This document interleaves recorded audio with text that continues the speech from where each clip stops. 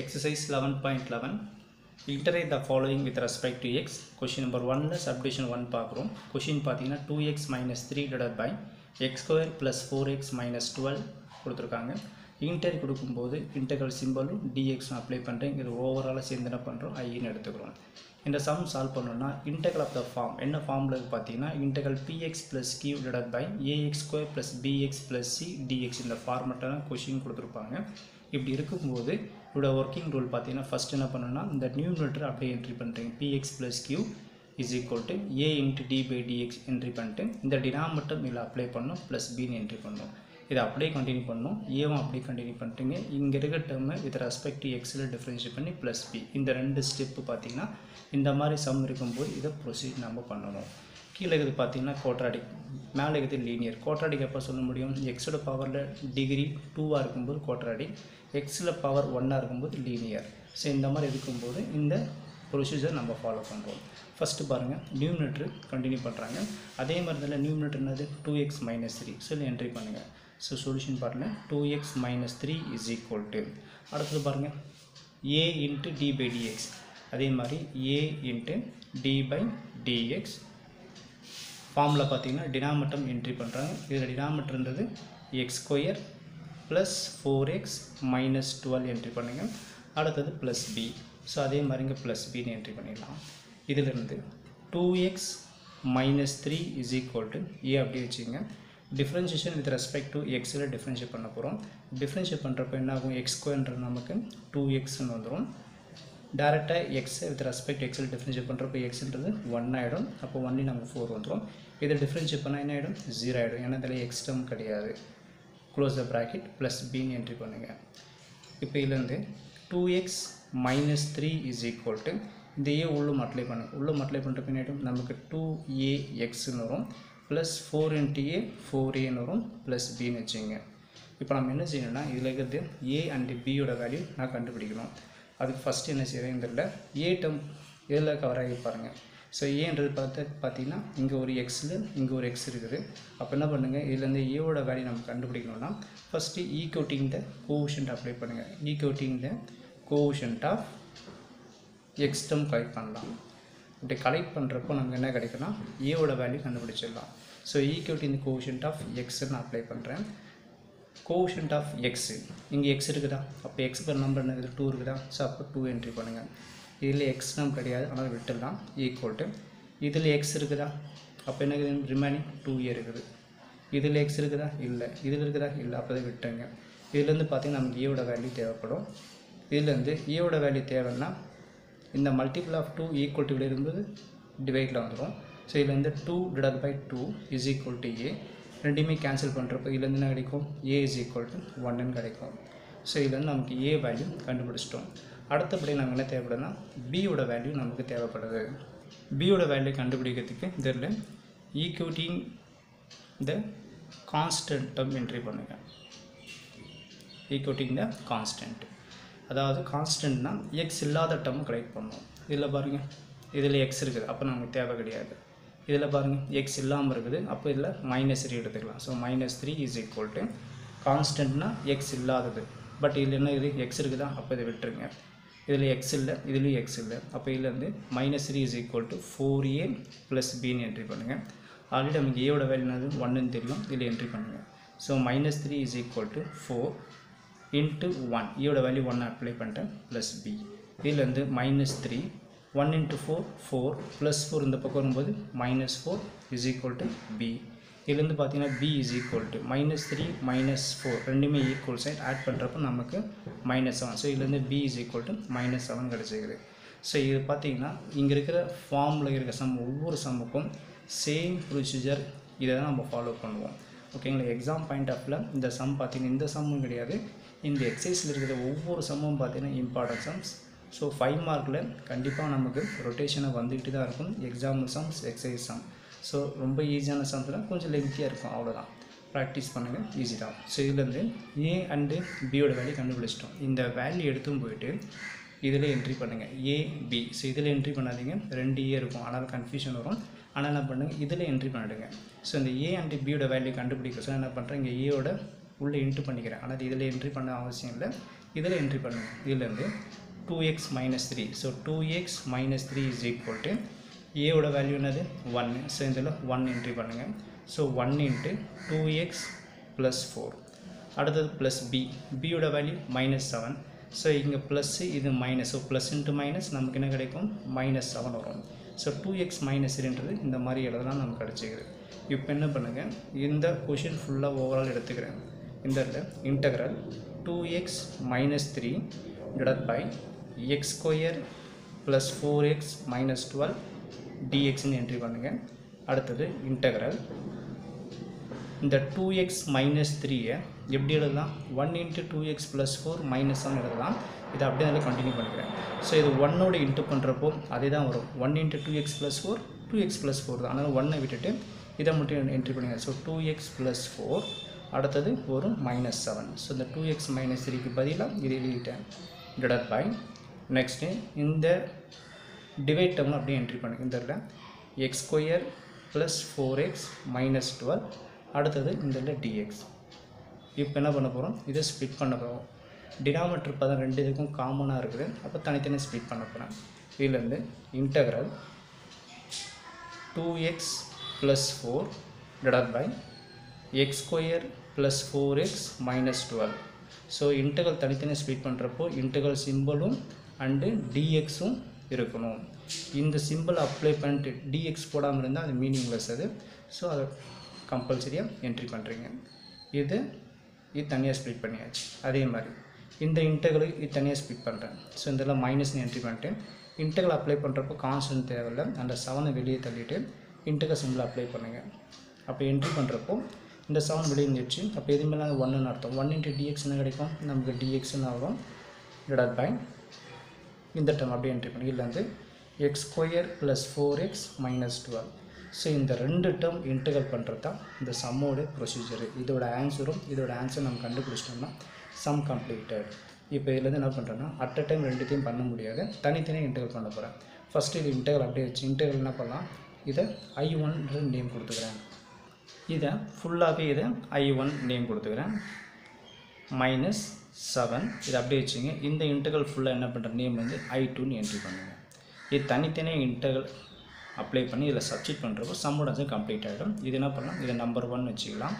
இது எதோட கண்டினியூஷன் பார்த்தீங்கன்னா integral two x minus three divide by x square plus four x minus டூவோட continuation இப்போ நம்ம I one value I two value கண்டுபிடிச்சி இதில் என்ட்ரி பண்ணுறப்போ சம்மோட ஆன்சர் கம்ப்ளீட் ஆகிடும் ஃபஸ்ட்டு இந்த ஐ ஒன் டைம் எடுத்துக்கிறேன். ஸோ ஐ ஒன்றது நாங்கள் எப்படி எழுதிக்கிறோம்? Integral two x plus four divide by x square plus four x minus twelve டிஎக்ஸ்னு entry பண்ணிக்கிறோம். ஸோ இந்த இடத்துல பார்த்து இன்டர் பண்ணுறதுக்கு சப்ஸ்டியூஷன் மெத்தட் அப்ளை பண்ணி போடலாம். பட் அதெல்லாம் கொஞ்சம் ரொம்ப லென்த்தியாக இருக்கும். இக்னே சமுக்கு கொஞ்சம் லென்த்தியாக தான் இருக்கும். நம்ம ஷார்ட்கட்டில் போடுறோம் எப்படி போடுறோம்னு பார்த்தீங்கன்னா நம்மக்கிட்ட ஃபார்முலா இன்ட்ரொடக்ஷன் வீடியோவில் நம்ம ஒரு ஃபார்முலா பார்த்துருப்போம். அதாவது integral f dash of x divided by f of x dx is equal to இதோட ரிசல்ட் என்ன கிடைக்கும் பார்த்தீங்கன்னா லாக் எஃப் ஆஃப் எக்ஸ்ன்னு கிடைக்கும்.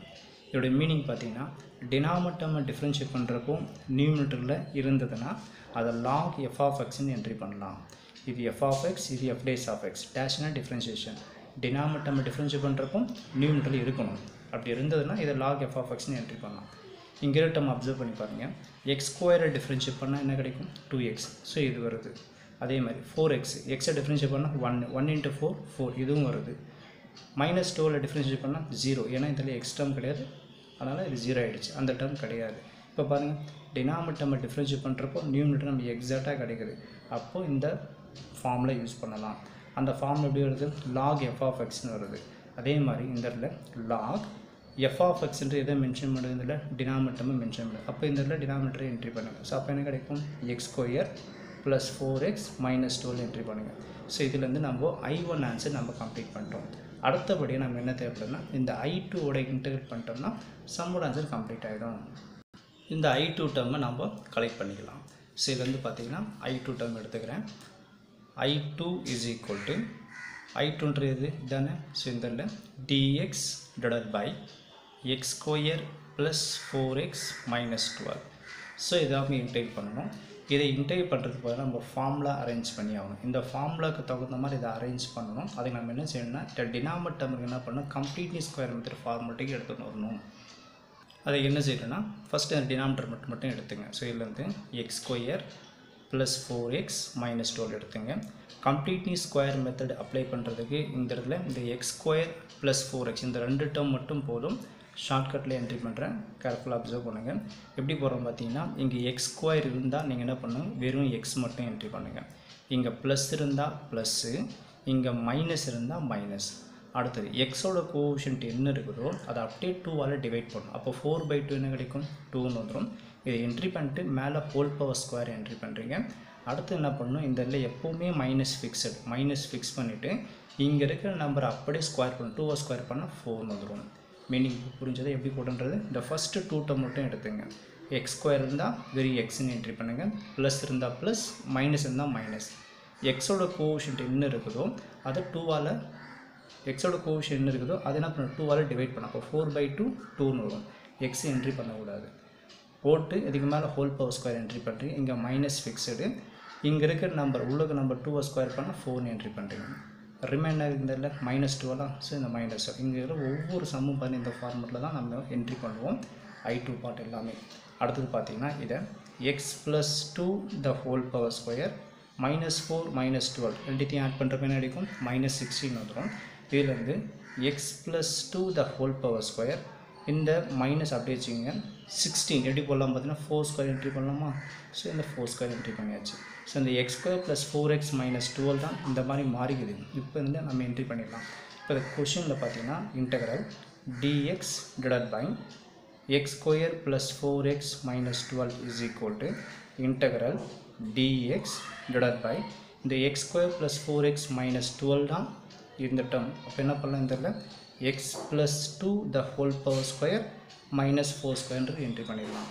இதையே நம்ம இந்த மாதிரி எடுத்துன்னு வந்தோம்னா ஸோ ஃபார்முலா அப்லோட் பண்ணுறதுக்கோசரம் தான் ஸோ ஃபார்மில் இன்ட்ரொடக்ஷன் வீடியோ நம்ம பார்த்துருக்கோம் இதில் பார்த்தீங்கன்னா மொத்தம் ஆறு ஃபார்ம்லாம் இருக்கும். ஓகேங்களா ஸோ இந்த ஆறு ஃபார்மில் நீங்கள் மெமரிஸ் பண்ணணும். இந்த இடத்துக்கு எந்த ஃபார்மில் அப்ளை பண்ண முடியும் நம்ம பார்க்கணும். இதில் பார்த்தீங்கன்னா integral d x by x square minus a square ஃபார்மெட்டில் இருக்கும்.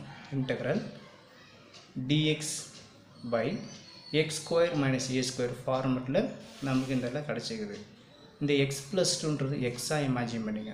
அப்போ இது எக்ஸ் ஸ்கொயர் இது ஏவாக இமேஜின் பண்ணிங்க. அப்போது x square minus a square ஃபார்மெட்டில் நமக்கு அந்த கொஷின் கிடச்சிருக்குது.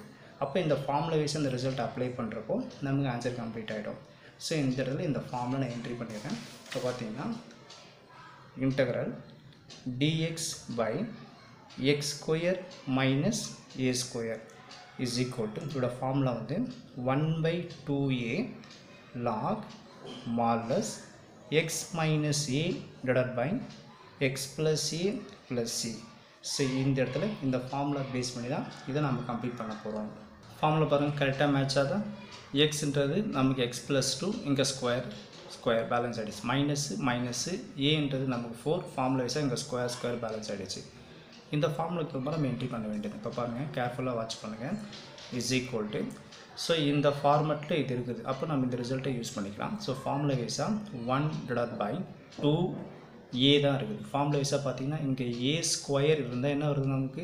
ஏன்னு வருது. ஏ ஸ்கொயர்னால் ஏ இந்த இடத்துல ஏன்றது இது ஃபோர் ஸோ இந்த இடத்துல ஃபோர்னு என்ட்ரி பண்ணுங்கள் ஸ்கொயர் என்ட்ரி பண்ணக்கூடாது. ரெண்டுத்தையும் பேலன்ஸ் ஆகிடுச்சு ரிமைனிங் பார்த்தீங்கன்னா இங்கே log modulus next x minus a இந்த இடத்துல பாருங்கள் இது எக்ஸு இது எக்ஸ் ப்ளஸ் டூ இந்த இடத்துல எக்ஸுன்றது நமக்கு எக்ஸ் ப்ளஸ் டூவாக இருக்குது. அதனால் இங்கே எக்ஸ் ஸ்கொயர் வரல. வெறும் எக்ஸ்ட்ரா மட்டும் ரீப்ளேஸ் பண்ணுங்கள் எக்ஸுக்கு பதிலாக இங்கே எக்ஸ் ப்ளஸ் இருக்குதா?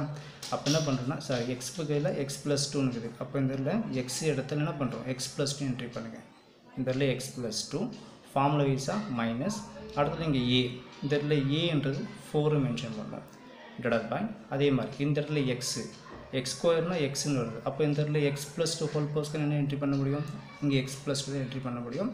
ப்ளஸ்ன்னு என்ட்ரி பண்ணிவிட்டு இந்த இடத்துல ஏன்றது நமக்கு ஃபோர் அப்புறம் ஒரு கான்ஸ்டன்ட் ப்ளஸ் சி ஸோ இதிலிருந்து two fours are eight that is a one by eight log modulus x two minus four என்ன கிடைக்கும் நமக்கு?